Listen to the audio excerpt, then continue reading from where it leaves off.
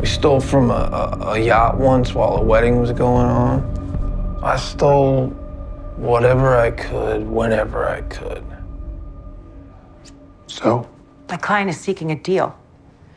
His testimony on a number of your open cases in exchange for a transfer to a facility where his physical safety can be assured. Jail's still as nasty as they say, huh? Mr. Cody has reason to fear for his life now that he's been moved out of protective custody and back to his cell in the general population. Based on Mr. Cody's confidential statements, the state will stand to close at least a dozen cases based on his potential testimony.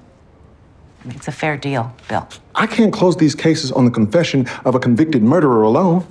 I'll need you to testify in open court and produce evidence we can connect to your associates.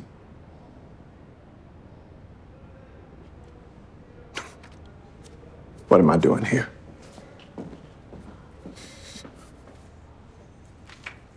There's another body. Mr. Cody, I'm going to advise you to stop talking right now. Can you keep me from getting stabbed to death in here?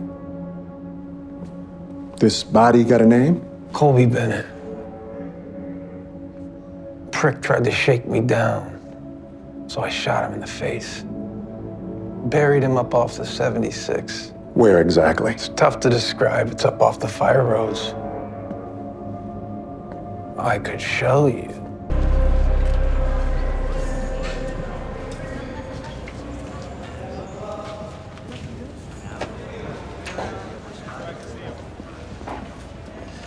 Hey.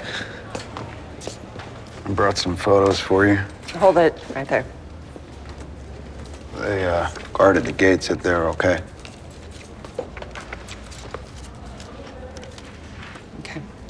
Thanks. How you doing, man? Okay.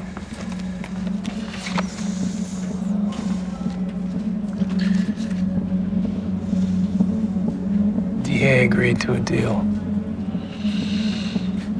Okay. So you're being transferred? Yeah, Good. When? How's the rest of the family? Hanging in there. Craig and Deran found a new spot. It's nice. It's gonna have everything they need. Right. I've never seen these before. There's a good one in there of you and my mom. That's the one. Look in the back.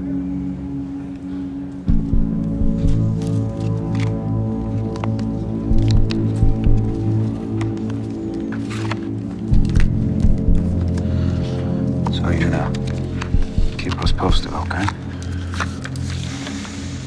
Yeah.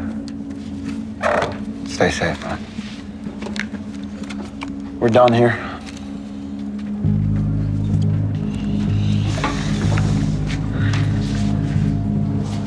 Can I keep one of those pictures? One of me and Julia? It's fine.